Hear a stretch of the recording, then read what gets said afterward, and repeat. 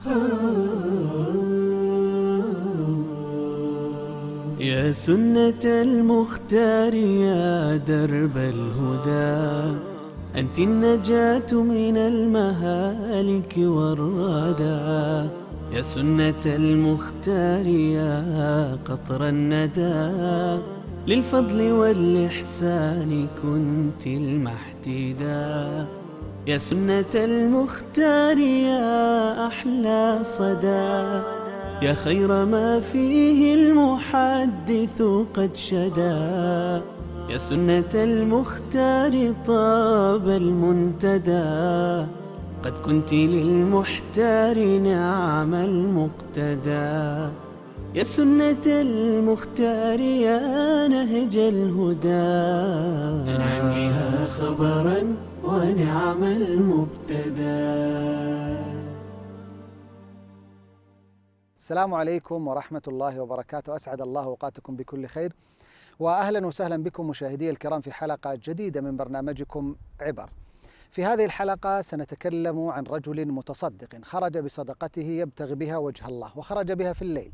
فوضع ما يريد أن يتصدق به في يد إنسان مر به في الطريق. فأصبح الناس فقالوا تصدق البارحة على سارق. فقال والله لأتصدقن مرة أخرى. فخرج في الليلة التي تليها وبيده صدقات فوضع هذه الصدقة في يد امرأة كانت هذه المرأة زانية. فأصبح الناس في الصباح يقولون تصدق البارحة على زانية. فقال والله لأتصدقن في الليلة التي تليها. وهو يريد ويتحرى أن يضع صدقته في المكان أو في المحل الذي يريده الله. فخرج في الليلة الثالثة ووضع صدقته فوقعت في يد غني. فأصبح الناس يقولون تصدق على غني. فقال اللهم لك الحمد على سارق وعلى زانية وعلى غني. لعل السارق أن يستعف ولعل أيضا الزاني أن تستعف ولعل الغني أن يعتبر فينفق مما آتاه الله. هذه القصة بمجملها سيدور الحديث حولها في هذه الحلقة لكن بعد فاصل يسير. يا سنة المختار يا نهج الهدى. انعم بها خبرا ونعم المبتدى. أبو معاذ الله يسعدك. لو تحدثنا عن الإمام أبو حنيفة. الإمام أبو حنيفة رحمه الله عالم العراق. أبو حنيفة النعمان بن ثابت الكوفي ولد سنة 80 هجري وتوفي سنة 150 هجري وعاش 70 سنة. هذا العالم يقول عنه ابن المبارك رحمه الله كان أفقه الناس. والعلماء عندهم كلمة متداولة بينهم يقولون الناس عيال في الفقه على أبي حنيفة. ولو كلمة جميلة وعظيمة نحن اليوم في أمس الحاجة إليها. كان يقول يقول إذا جاء الأمر عن الله فعلى الرأس والعين. وإذا جاء الأمر عن رسول الله صلى الله عليه وسلم فسمعا وطاعة. وإذا جاء الأمر عن صحابة رسول الله صلى الله عليه وسلم تخيرنا من أقوالهم ولم نخرج عنهم. وإذا جاء الأمر عن التابعين فهم رجال ونحن رجال لأنه كان من التابعين وكان من الفقهاء رحمه الله. أبو حنيفة النعمان اليوم هو صاحب مذهب فقهي مشهور وكبير وأكثر البلدان الإسلامية اليوم على هذا المذهب وهو مذهب أبو حنيفة المشهور بمذهب مذهب الرأي. أبو حنيفة من من العلماء الكبار ومن علماء الإسلام العظام. وممن حري أن يتعرف على سيرته وأن تقتدي به هذه الأجيال لتسير في سير هؤلاء الكبار الذين جعلهم الله جل وعلا قدوة ومنارة لأبناء المسلمين. الله. يا سنة المختار يا نهج الهدى. انعم بها خبرا ونعم المبتدى. حياكم الله من جديد مشاهدي الكرام في برنامجكم عبر والحديث حول قصة المتصدق الذي تصدق على سارق وعلى زانية وعلى غني. دعوني قبل هذا كله حقيقة أرحب بضيوف الكرام في هذه الحلقة. الشيخ منصور حياك الله يا شيخ منصور. حياك الله أبو عزة. ارحب بالشيخ ناصر يا حياك الله يا شيخ ناصر. بالشيخ. الله يحييك شيخ طلال ارحب بالشيخ عبود حياك الله يا شيخ الله يحييك ويبارك وأيضا ارحب بالشيخ حياك وسهلا بك. شيخ طلال. آه، شيخ منصور خليني أبدأ وإياك في في في الحديث. سبحان الله آه، وملحظ جميل في في هذا الحديث قضية إنما الأعمال بالنيات وليس بال- بالحقائق بالنية التي تقر في قلب الإنسان. سبحان الله هناك حديث عظيم في الإسلام. هذا الحديث آه، بوبه البخاري آه، وأخرجه في أول أحاديثه. آه قال صلى الله عليه وسلم اللهم إنما الأعمال بالنيات وإنما لكل امرئ ما نوى. فمن كانت هجرته إلى الله ورسوله فهجرته إلى الله ورسوله. ومن كانت هجرته لدنيا يصيبها أو امرأة ينكحها فهجرته إلى ما هاجر إليه. آه شرطي قبول العمل. الشرط الأول أن يكون العمل خالصا لوجه الله عز وجل وأن يكون العمل متبعا للنبي عليه الصلاة والسلام. فالله سبحانه وتعالى يقول وما أمروا إلا ليعبدوا الله مخلصين له الدين. والنية كما قال العلماء النية تجارة العلماء. وكان السلف يجتهدون اجتهادا عظيما في معالجة نياتهم. كثير من أهل العلم يقولون ما عالجت شيئا أشد علي من نيتي. فإنها تتقلب علي. من أجل ذلك الله عز وجل إلى إذا علم في قلب العبد من الخير يعطيه الخير. قال الله سبحانه وتعالى إن يعلم الله في قلوبكم خيرا يؤتكم خيرا مما أخذ منكم ويغفر لكم والله غفور رحيم. فالإنسان ينوي الخير. فإن الإنسان إذا أخلص النية لله سبحانه وتعالى رزق بالجنة. قال الله سبحانه وتعالى إنكم لذائق العذاب الأليم. وما تجزون إلا ما كنتم تعملون إلا عباد الله المخلصين. أولئك لهم رزق معلوم فواكه وهم مكرمون. في جنات النعيم.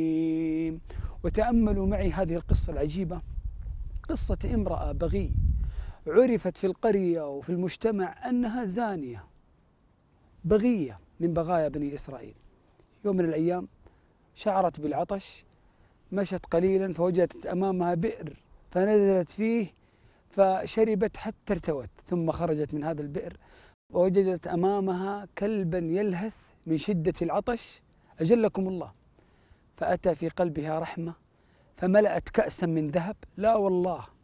ملأت خفها أجلكم الله فسقت هذا الكلب فشكر الله لها وغفر لها وأدخلها الجنة مع ما فيها من الذنب العظيم. بسبب ماذا؟ بسبب ما قذف فيها من إخلاص لله عز وجل في هذا العمل البسيط القليل الذي لا يساوي شيئا في الإسلام. جميل. فاللهم يا رب حسن نياتنا يا رب. واجعل أعمالنا خالصة لوجهه الكريم. جميل. آه شيخ عبود سبحان الله أيضا في القصة آه يعني من أعظم الفوائد إنه إحنا لا نركز على البواطن وان لنا ظواهر الناس ونقبل منهم ظواهرهم. طبعا هذه قاعدة عند أهل العلم لا يجوز التنقيب عن عقائد الناس هذه في مسائل العقائد.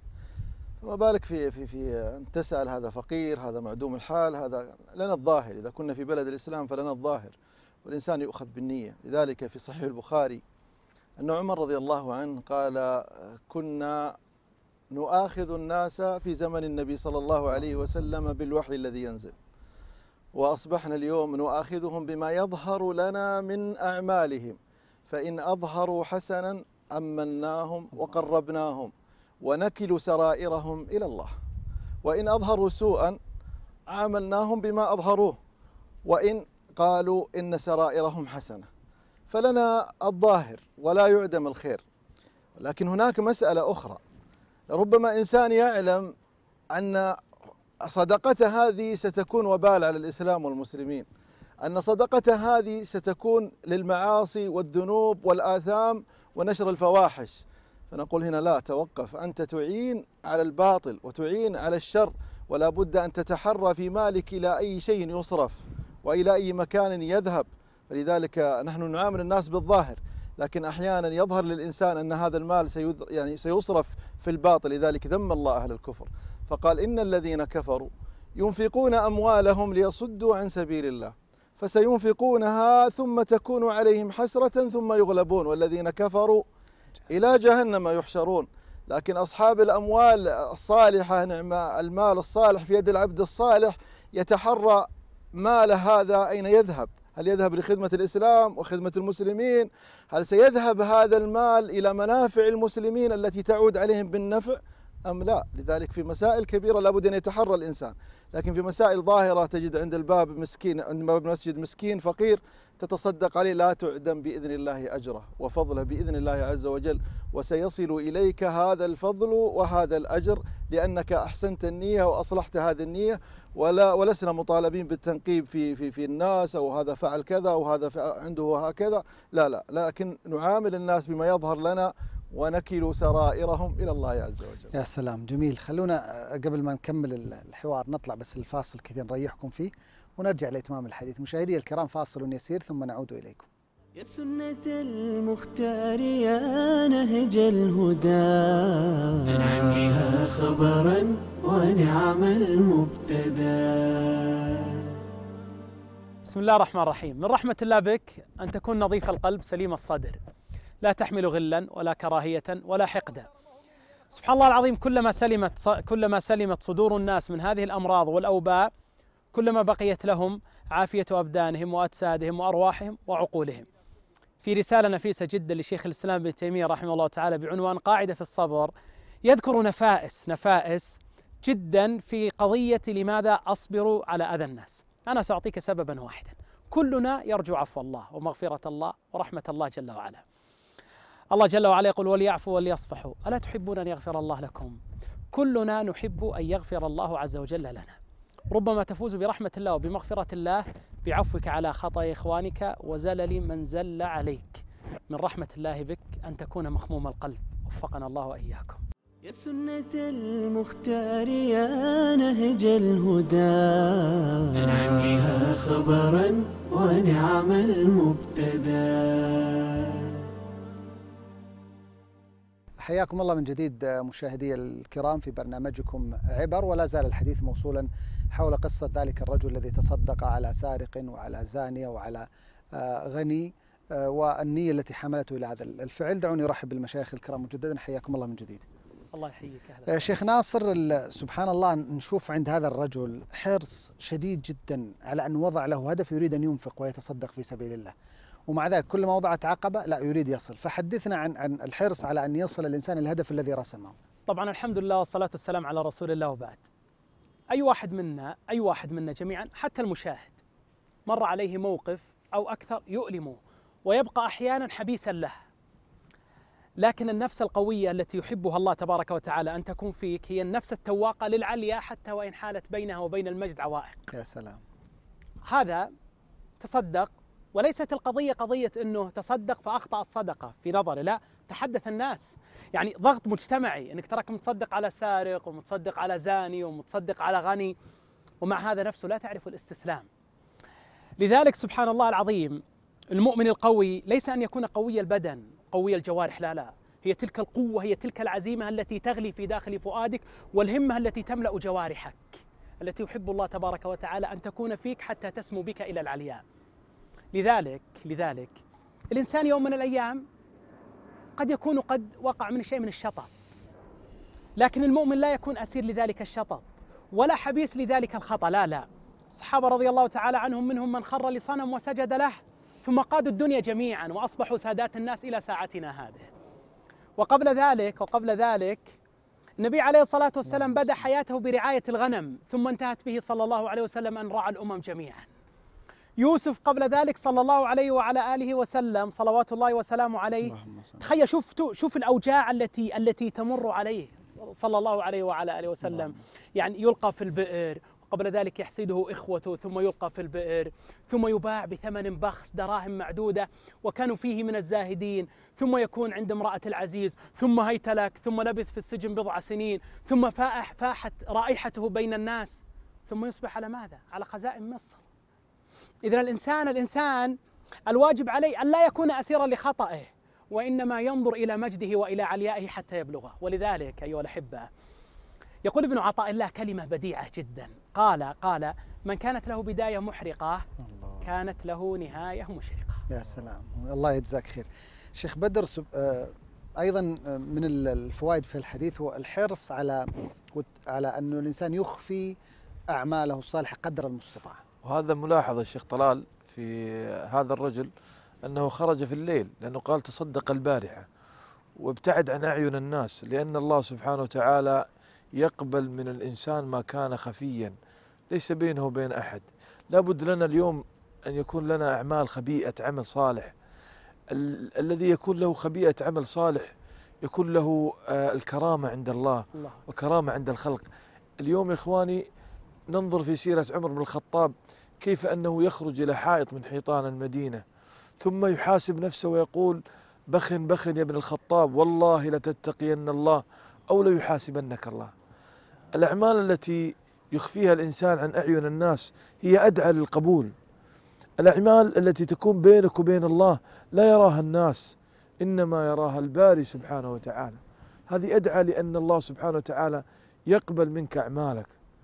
والله سبحانه وتعالى لما يخبرنا عن هذه الأحداث وهذه القصص يجعلنا نقبل عليه. بعض السلف يبات مع زوجته وعلى مخدة واحدة ويبكي الليل وزوجته لا تعلم به. الله. متى نصل إلى هذه هذه ال- الحياة الطيبة؟ أن تكون أعمالك لله. والله ما يبقى للإنسان إذا أراد أن يرفعه الله في الدنيا وفي الآخرة إلا ما كان بينك وبينه. الله. اجعل لك أعمال صالحة تتجافى جنوبهم عن المضاجع. يدعون ربهم خوفا وطمعا. إخواني هذه الأعمال الطيبة التي بيننا وبين الله. أن يكون الإنسان دائما متذكرا هذا العمل السرائر. في أعمالك بينك وبين الله تكون نتائجها في الدنيا قبل الآخرة. يا سلام. الله يجزاك خير يا شيخ بدر ويجزي المشايخ حقيقة على هذا. التطواف الجميل حول هذه الحلقة وما فيها من فوائد. وعبر نلقاكم إن شاء الله في حلقة جاية وقصة جديدة إن شاء الله. إن شاء الله. إلى هنا مشاهدي الكرام وصلنا وإياكم إلى نهاية هذه الحلقة. نلقاكم في حلقة قادمة. والسلام عليكم ورحمة الله وبركاته.